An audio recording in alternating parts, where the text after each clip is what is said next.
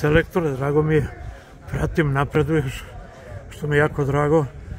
Ja sam napisao da će mnogi futbolski poznavaoci danas da dođu u Pirat. E, Šta si imao kad si krenuo, šta si hteo u stvari da vidiš, šta ti bio cilj? Pa meni je drago, pošto ja u na prethodnom periodu nisam baš imao vremena da pratim Srpsku ligu i da pratim te utakmice na našim terenima i prateći sada zadnje rezultate i Dubočice i Radničkog ispirata, baš mi je interesovalo kako, na koji način i koja je to razlika između Srpske lige, prve ligije i Super ligije i da vidim kakav je to kvalitet igrača na, na ovom stepenu takmičenja. Ja sam se stvarno pozitivno ovaj, iznenadio danas, sa samoj igri i utakmici.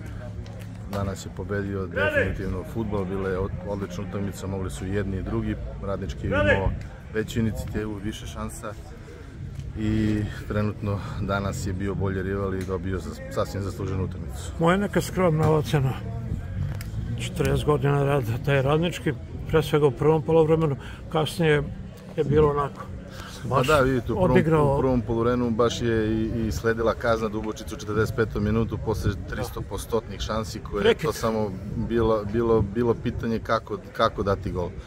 I imali su i pomoći vetra u prvom polurenu radnički i primili su faktički iz jednog prekida, ozbiljnog primili su taj gol na ovaj na Ali radnički igrao dobro. Jeste, igrao je dobro. Lazo to mirno. traži, da se igra pas, igra. Tra- pa Lazu i znam kao, kao kolegu i znam šta je njegov, njegova futbolska ideja i to se danas i videlo na terenu.